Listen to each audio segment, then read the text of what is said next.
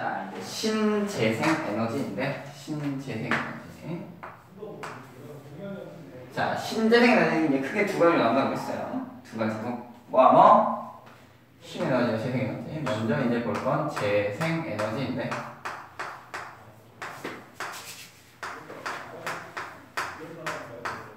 그리고 신에너지. 자, 재생 에너지는 뭐다? 재생할 수 있는 에너지. 그렇지. 재생이 가능한 거지. 근데 무조건적으로 자연 친화적인 안, 친화적이진 않아. 대체적으로 자연 친화적인 게 많긴 해. 근데 친화적이지 않은 것도 있어요. 성경 느낀 것도 있고.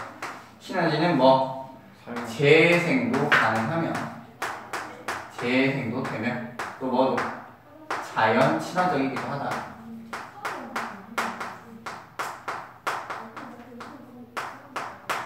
적이기도 하다.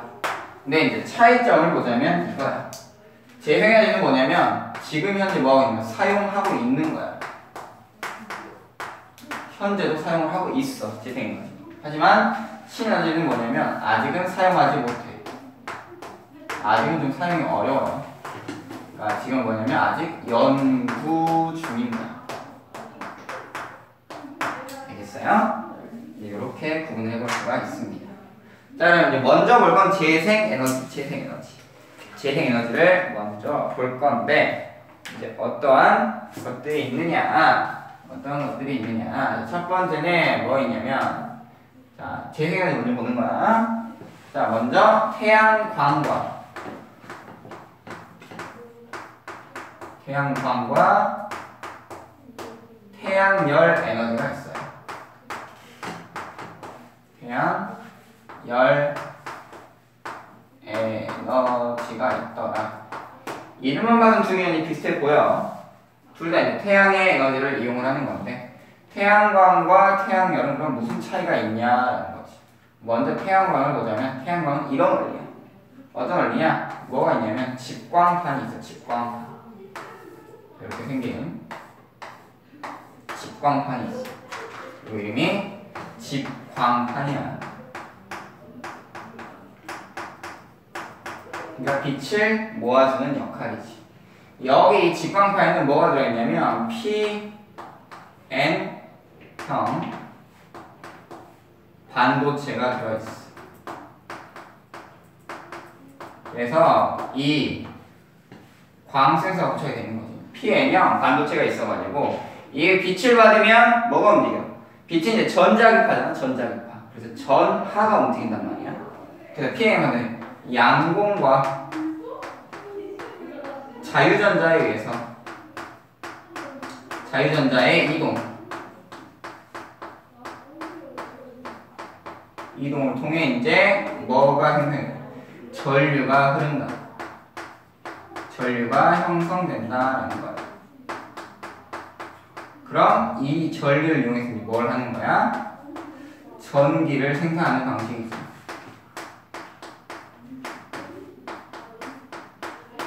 전기 생산하는 방식이더라. 이게 뭐예요? 태양광 발전의 원리야. 그러니까 뭘 뭘로 바꾸는 거야? 뭘? 빛에너지를 빛에너지를 뭘로? 전기 에너지로 바꿔주는 거지. 이 원리예요.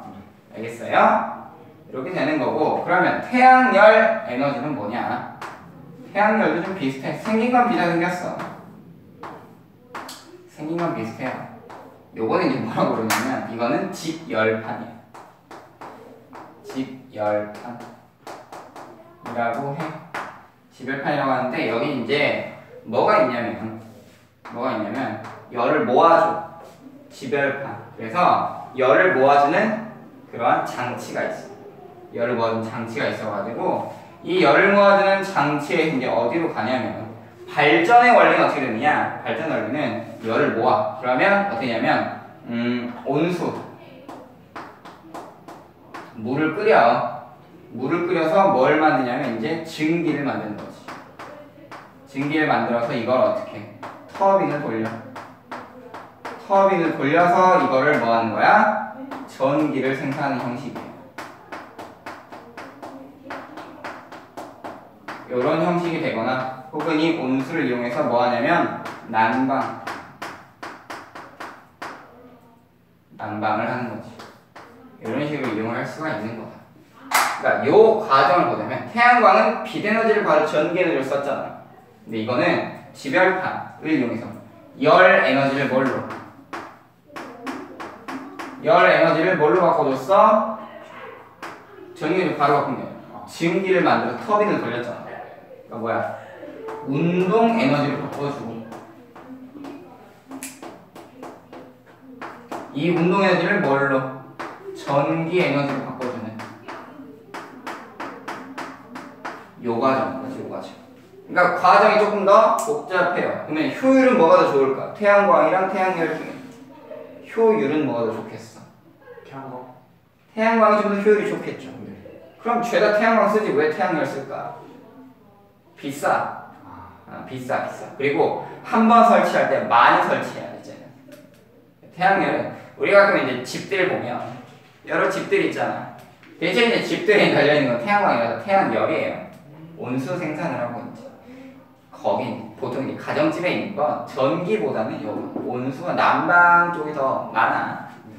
근데 이제 태양광, 태양열 장점은 뭐냐면 장점은 뭘까? 태양광, 태양열의 장점. 무한. 그렇지. 뭐다? 재생이 가능하다라는 거야. 재생이 가능하고 또 뭐야? 자연 친화적이더라라는 거지. 환경오염이 없어. 음, 그리고 여름에 되게 효율이 좋겠죠. 설치가 좀 약간 복잡하다는 건 있지만 태양광은 특히 이제 비싸. 근데 이제 단점으로는 뭐가 있느냐? 날씨의 영향이 크더라라는 거지. 날씨의 영향을 많이 받고 또 어떤 게 있을까? 들쑥날쑥해요. 전기 생산이 어때? 거의 일정한 게 아니라 왔다 갔다 하는 거지. 좀 뭐라고 표현을 해줘야 될까? 어, 어, 날씨 영향을 많이 받는다. 표현할 단어가 안 떠올라 갑자기. 뭐라 해야 되지? 어, 어, 아 발전량의 차이. 어, 발전량의 차이라는 좋은 단어가 있네. 음, 그런 게 있어요. 아, 순간 단어가 생각이 안 나가지고 미안해. 자 그렇게 되고 자 이제 태양광, 태양열은 이런 게 있고 또 네, 설치 비용이 좀 든다라는 설치 비용이 좀 있어요. 좀 있어. 이게 이제 단점이 되는 거지. 자, 그 다음 이제 두 번째로 넘어가서 그럼 또 뭐가 있느냐. 두 번째는, 두 번째는 풍력 에너지가 있습니다. 풍력 에너지. 풍력 에너지도 그 근원은 뭐야? 태양 에너지야. 바람이잖아. 어? 바람. 풍력 에너지인데, 풍력 에너지 뭐야? 우리 쉽게 얘기하면 뭐, 생- 쉽게 생각하면 뭐 생각하면 돼? 뭐 있어? 풍차 생각하면 되지, 풍차. 풍차 생각하면 돼요. 얘가 바람이 불면 뱅글뱅글 돌잖아. 뱅글뱅글 돌아. 그래서 바람의 뭐 풍력 발전은 뭘 이용하는 거야? 바람의 운동 에너지를 뭘로 바꿔주는 거야? 전기. 그렇지. 전기 에너지로 바꿔주는 거죠. 지로 바꿔주는 거다. 풍력 에너지는 이런 원리로 활용이 되고 풍력 에너지는 좋은 게 뭘까? 얘도 역시 재생이 된다. 또 자연 친화적이다.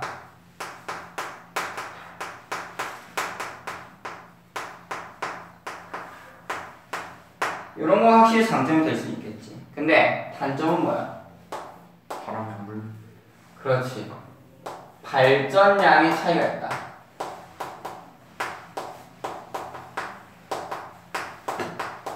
근데 올라갔다 내려갔다는 게 발전량이 올라갔다 내려갔다 또 어떤 게 있을까요? 지역이 한정적이야. 요거는 확실히 문제가 될 수가 있지. 지역이 한정적이라는 문제가 있어요. 알겠어요? 그리고 또 이제 또 다른 문제는 소음 문제가 또 따라가게 돼요. 소음. 시끄럽잖아. 아무래도 프로펠러 펄럭펄럭 돌아가면. 그쵸?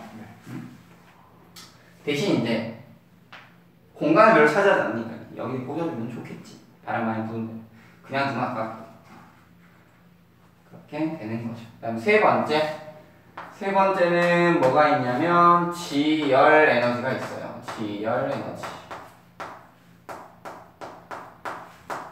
지열 에너지는 어떤 거냐면 밑에서 열이 이렇게 올라오면 땅에서 올라오는 열을 이용을 하는 거야. 요 열을 이용해서 이제 뭐래 물을 끓여서 터빈을 돌리는 거야. 끓여서 터빈을 돌리는 거야. 영어로. 지혜는 쉽게 생각하면 뭐 있냐면 온천. 온천 생각하면 간단하죠. 온천. 물 따끈따끈하잖아. 물 끓여가지고 이제 터빈 돌리면 되는 거야. 얘도 마찬가지로 뭘 이용한 거야? 열 에너지를 열 에너지를 활용을 해서 뭐해? 운동 에너지로 바꾸고 이 운동 에너지를 이용을 해서 뭐라는 거야? 전기 에너지로 바꿔주는 거죠. 이러한 방식으로 발전을 합니다. 자, 그러면 에너지 좋은 게 뭐냐? 좋은 게 뭐냐? 설치 비용이 별로 안 들어.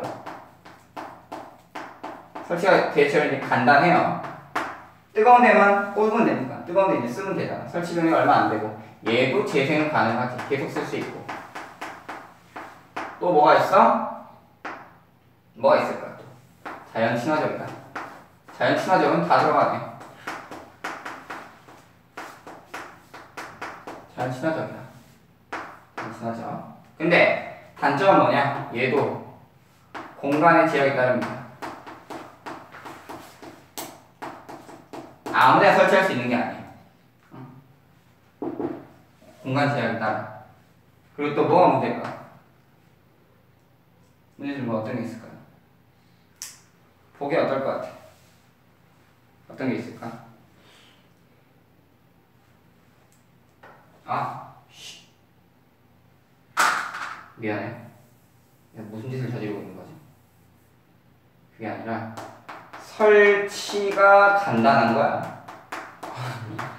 설치가 간단한 거고 그다음 설치 비용 많이 들어.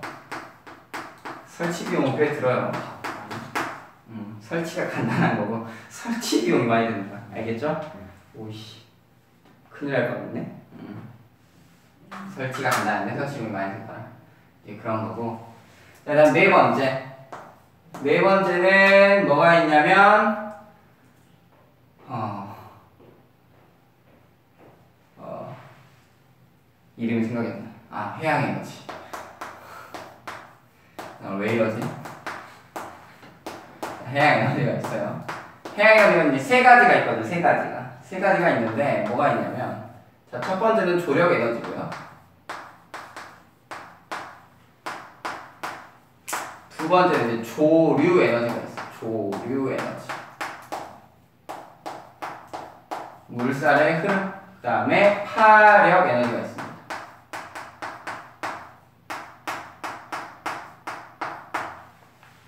자, 조력 에너지는 뭐냐면 조수 감마의 차를 이용하는 거야.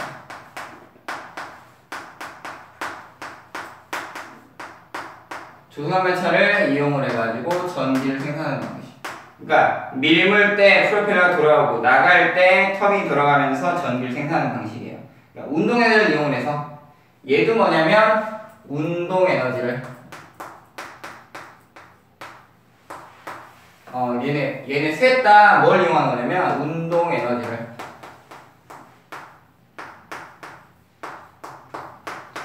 전기 에너지를 바꿔주는 거야.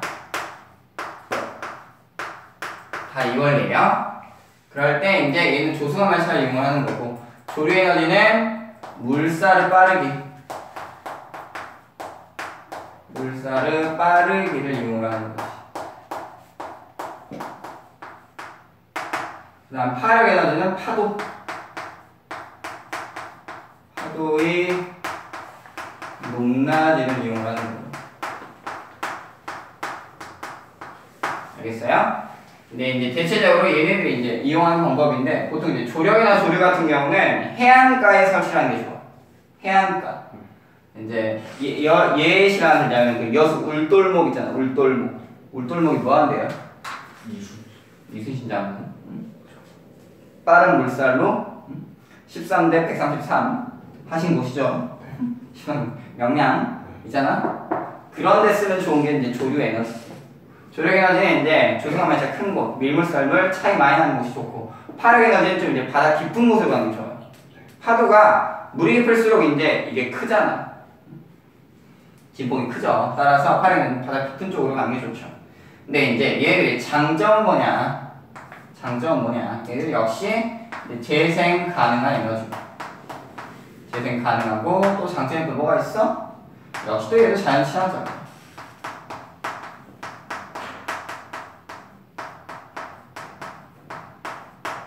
대신 이제 단점은 뭐냐? 단점은 뭐냐? 여기 또 공간의 제약을 갖죠. 아무데나 설치할 수가 공간 제약이 있어. 공간 제약이 있더라. 또 어떤 게 있어?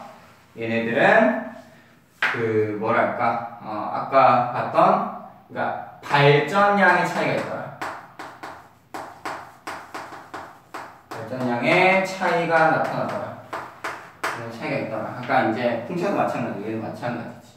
이제 마지막 다섯 번째. 다섯 번째. 이거는 이제 바이오매스라고 해요. 바이오 에너지라는 건데. 바이오 에너지 세 가지가 있어.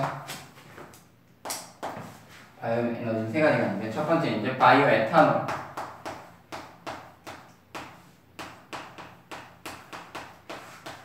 그리고 바이오 디젤.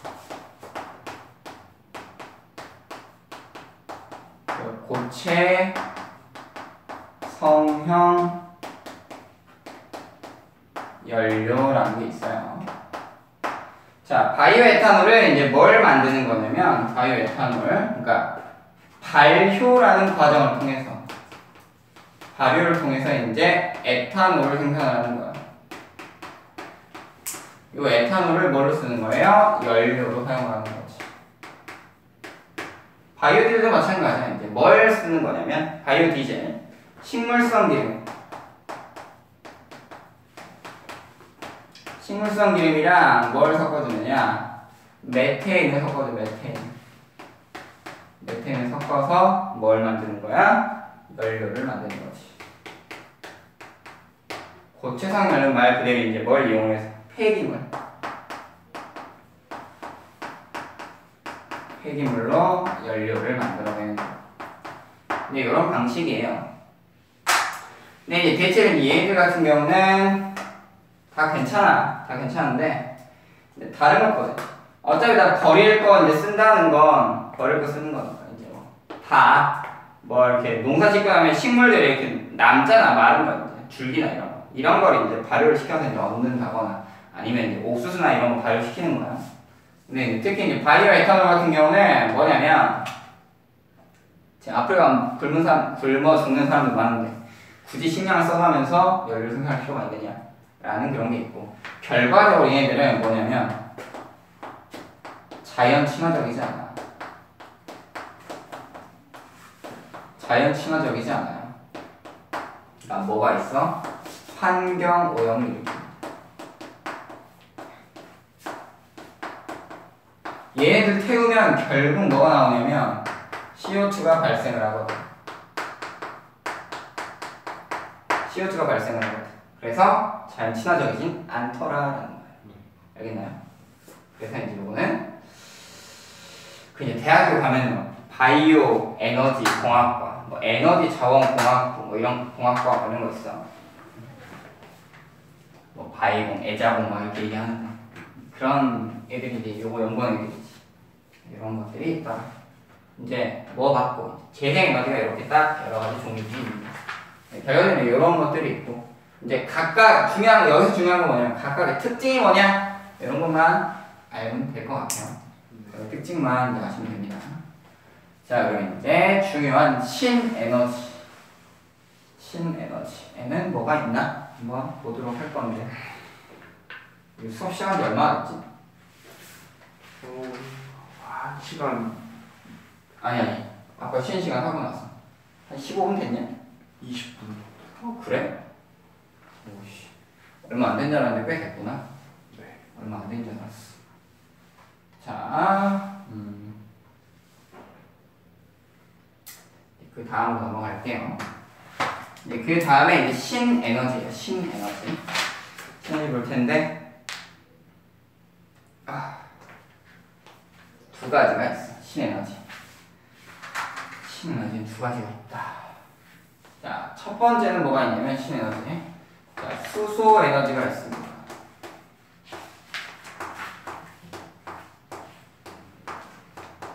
수소 에너지가 있어요. 자, 수소 에너지라고 하는 건 말 그대로 이제 수소를 분리를 해다가 에너지를 얻는 방식이죠. 수소 에너지. 수소를 분리해다가 에너지를 얻는 방식인데 어떤 식으로 이용을 하느냐. 수소가 보통 어디 많이 들어있냐면 뭐 메테인이라거나 H4나 아니면 H2O나 이런 데 많이 들어있어요. 이 수소를 분리를 해다가 순수한 수소가 있을 거 아니야. 이 수소를 어떻게 해? 산소랑 이제 다이다이 뜨는 거지. 이거를 이용을 해가지고 뭘 생산해? 에너지를 생산하는 거야. 근데 얘가 좋은 게 뭐냐? 이 수소를 이용하면 좋은 게 뭐냐? 둘이 만나면 뭐 나오죠? 그렇지. 뭐가 생산돼? 물이 생산돼. 그럼 물은 환경 오염이랑 관련 있는 물질인가요? 없어. 그럼 요 물을 생산하려면 안전한 거지. 안전한 거지. 환경 오염이 안 생겨. 환경 오염 따위 신경 쓰지 않아서. 환경 오염이 없더라라는 게 중요한 거야. 수소 에너지 이용을 하면. 그럼 굉장히 좋은 에너지잖아. 그럼 지금 당장 쓰면 되겠네.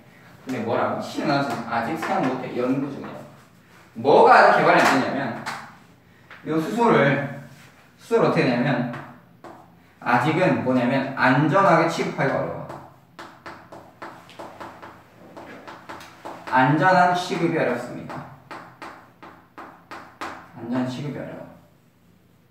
그러니까 이걸 분리해내 가지고 이 수소의 폭발력을 잠재울 수 있는 어떤 그런 기술이 있어야 되는데 아직 그게 없고 그리고 약하게나마 사용을 할 수는 있어. 약하게는 미량 적은 양 사용하는데 이걸 대량으로 하기는 아직 좀 기술력이 부족해요. 그래서 그 물로 가는 자동차 이런 거 있잖아. 물로 가는 자동차. 물로 가는 자동차는 어떤 원리냐면 이 물 속에 있는 수소를 분리를 해. 전기를 시켜서 분리를 시킨 다음에 여기에 이 수소의 폭, 폭발력을 이용해서 자동차가 가는 거야. 그 내용이 뻥뻥 터지잖아. 피스톤 터지면서 가듯이 그걸 이용하는 거지. 그래서 요 기술이 아직은 조금 부족하더라라는 게 지금의 한계예요. 어쨌든 좋은 건 뭐냐면 수소는 어디나 있거든. 겁나 많아 수소는. 그리고 태워도 환경화가 없어. 그러니까 뽑아내고 취급할 수 있는 기술만 있다면 얼마든지 잘 사용할 수가 있는 거지. 알겠습니까? 그다음 두 번째. 두 번째는 뭐냐? 핵 융합 에너지.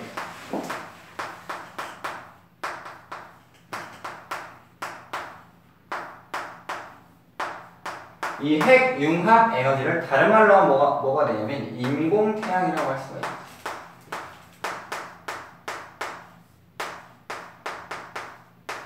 인공 태양을 만드는 기술이다 볼 수가 있는 거예요. 자, 우리 핵융합이 어떤 거였지? 핵융합 기억나나요? 4H. 어, 4H. 어떻게 해요? 어, 헬륨 플러스 에너지다. 이때 에너지가 뭐였더라? MC의 제곱이더라. 요만큼 에너지 생산이 된다. 뭐 이런 거 했었죠. 그만큼 많은 에너지 생산이 되는 거야. 그럼 이제 핵융합을 시키는 거야. 근데 요 조건이 얼마였어? 요게 일어날 수 있는 조건. 핵융합 에너지 조건.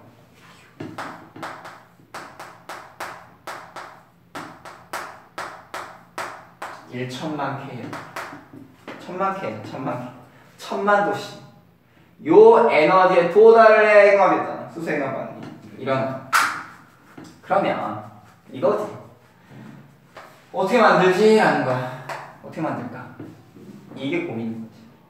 천만 도 정도 되면 웬만한 그릇은 다 녹아버려. 녹고 다 타버리겠지. 그쵸? 그래서 만든 게 뭐냐? 요거는 이름을 외워두셔야 돼요. 토카막이라는 거.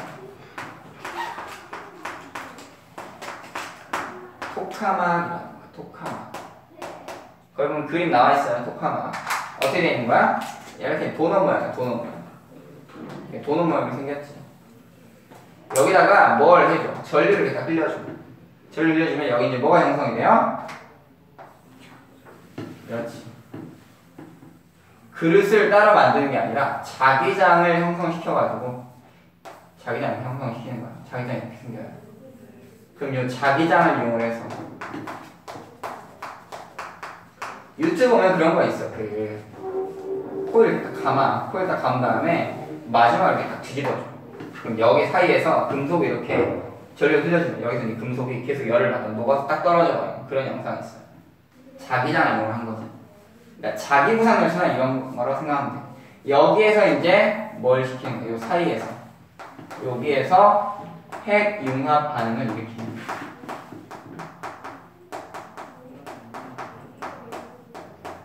반응을 딱 일으켜. 여기만 딱 온도가 올라가거든. 여기에서 온도가 딱 올라가는 기술. 그럼 이제 토카만이라고 해요. 요거 하나 이제 우리나라에도 있어. 응? 우리나라에도 만들어서 지금 연구를 하고 아직 상용화가 안 됐을 뿐이지. 그래서 요 기술을 이용을 하는 겁니다. 그래서 우리가 이전에 이제 우라늄을 이용을 했다면, 우라늄을 이용을 했다면, 이제는 그때는 핵 분열이었잖아. 이제는 핵 융합 기술을 사용하는 거죠. 그러니까 굉장히 좋은 건데 아직 이 온도 조건 도달하기가 힘든 거죠. 아직은 안 돼. 아직은 써먹기가 좀 그래요. 그러니까 인공 태양이잖아. 요거 이제 성공하면 인류는 또 한 번 이제 많은 변형의 길을 걷게 될 거예요. 이렇게 두 가지의 신에너지 기술이 있더라. 라는 겁니다. 자, 이렇게 되고, 이제, 이러한 원리들을 보는 거죠. 이러한 원리들. 원리들.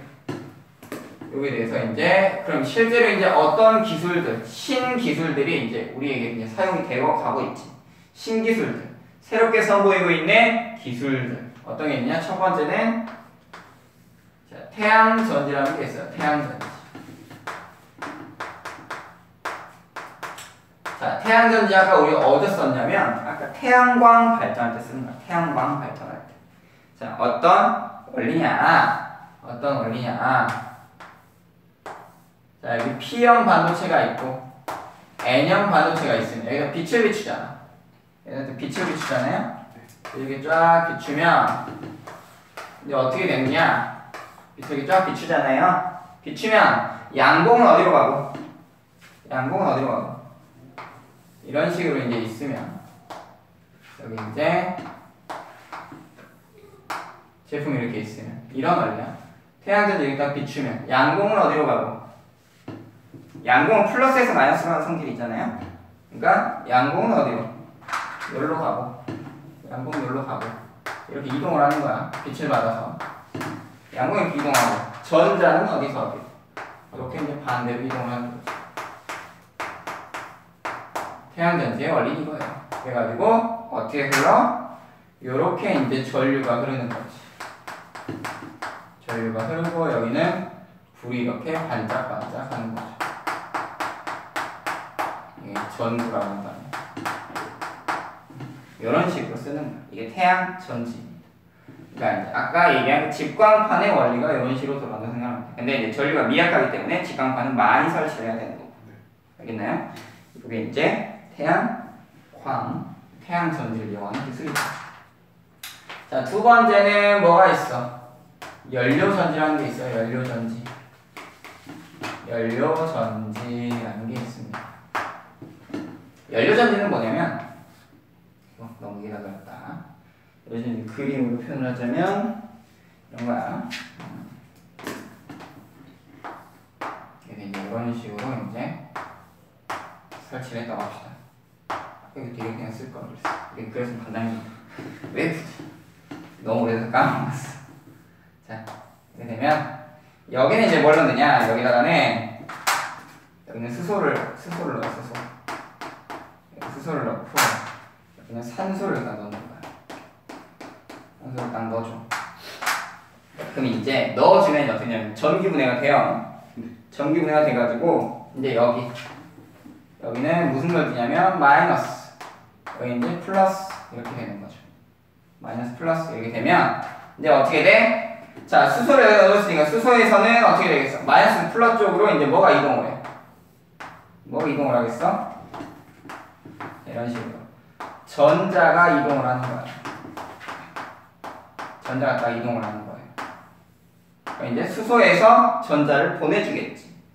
그러니까 얘는 뭐 되고 양이온 되면서 수소는 뭐 되고 양이온 되고 여기는 뭐 되고 전자 받았으니까 음이온 될 거 아니야. 그쵸? 양이온과 음이온이 만들어지면서 전류는 이렇게 흐르는 거지. 이렇게 뱅글뱅글 흐르게 돼요. 나중에 이제 수소랑 산소가 만나더라도 만들어지는 건 뭐밖에 없어. 얘들 만나봤자 H2O 물밖에 안 만들어. 그러니까 굉장히 안전한 거죠. 연료전지 이런 기술입니다. 그래서 연료전지를 상용화하면 좋겠는데 아직까지는 뭐 이렇게.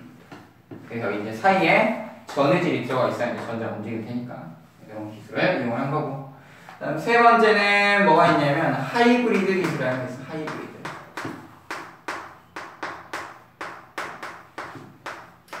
하이브리드 기술이라는 건데 하이브리드 기술이라는 건 뭘 얘기하냐면 두 가지 이상의 두 가지 이상의 에너지원을 활용을 하는 거예요. 두 가지 이상의 에너지원을 활용을 하거나 이제 어떤 기술이냐면 어떤 기술이냐면 이런 거예요. 음, 이거 이제 두 가지 아니고 편하게 쓸 수 있는데 자동차를 예로 들자면 이렇게 한번 예를 들어보시죠. 예, 자동차를 갈 때 올라갈 때 이제 연료를 쓸 거 아니야. 연료를 쓰다가 내려올 때는 그래서 이제 바퀴가 돌잖아요. 그러면서 전기 발전을 하는 거예요. 배터리를 충전하는 형식이에요. 이제 전기 충전이 돼. 그냥 또 이제 올라가면 이제 전기 써도 되는 거지. 이런 식으로 이제 가는 거죠. 그러니까 어느 에너지를 생산을 하는 거야. 정지했을 때는 딱 정지하게 되면 이제 시동이 딱 꺼져. 시동 오프. 이런 식으로 되는 게 하이브리드 기술입니다. 그러니까 이제 좋은 건 두 가지 접목을 하다 보니까 참 좋지. 참 좋죠. 이게 괜찮은 기술이야. 그러니까 올라갈 때는 연료 사용하고, 그러니까 이제 얘가 이제 기름 장처럼 휘발유 쓰고 내려올 때는 이제 뭐래 전기를 생산해요. 그래서 다시 올라갈 때 이제 연료랑 전기랑 쓰는 거고 또 내려올 땐또 뭐에 이제 전기를 또 생산을 해요. 이런 기술이야. 되게 좋지. 요즘 자동차들은 다 이런 기술이 있어요. 그러니까 자동차 내부의 문제, 배터리나 배터리. 배터리. 달리면 이게 또 충전이 돼요. 배터리 수명이 가지 않는 이상. 그래서 이런 기술들을 활용을 해서 우리가 이제 이 에너지 문제에 대처를 하고 있다. 앞으로도 수많은 에너지를 새로 개발이 될 거야. 옛날에 뭐 바이오매스 이런 거 생각했겠어? 뭐 수소전지, 아니 뭐 토카마개가 생각하지 이런 거 생각 못했을 거 아니야. 과학기술이 발전할수록 새로운 에너지의 형태가 또 나타납니다. 이제 과거의 문제점을 극복해 나가고자 노력을 하는 거지 1년을. 그러면 그 문제를 극복해 나갈 때, 극복해 나갈 때 그런 이제 과학 발전이지 않겠니? 누군가는 지금 이 순간에 계속 연구를 하고 있는 거죠. 우리가 할 일은 그 사람들이 연구 잘 하게. 아, 우리가 이렇게 발전해 왔구나. Thank you, very much. 감사합니다. 그런 생각 가지고 하면 되는 거야. 이게 시험으로서, 그러니까 학업으로서의 의미가 있다면, 학업으로서 생각을 한다면 정말 지루하고 재미없는 과목일 수도 있어. 융합과학이라고 하는 게. 내용 되게 많고요. 외우고 되게 많고, 이해도 잘 안 돼. 이 많은 걸 어떻게 머릿속에 다 한꺼번에 넣습니까? 나도 가끔 헷갈리는데. 오죽하겠습니까, 여러분? 뭐 그런 것도 있겠지. 하지만, 뭐, 아무래도 좀 재미를 느끼는, 아, 이게 좀 신비함을 가지고 좀 느낀다는 또, 나는 재미도 있을 수도 있겠지. 아무튼 이제 그러한 것들이 이제 요 단어의 핵심이더라. 결국 인류는 계속해서 발전해 간다. 라는 겁니다. 알겠습니까? 그래서 수업은 여기까지 하겠고, 문제 풀고 마무리할게요. 수고했습니다. 이제 다음 시간에 시험만 보면 드디어 끝나는 거. 하하하.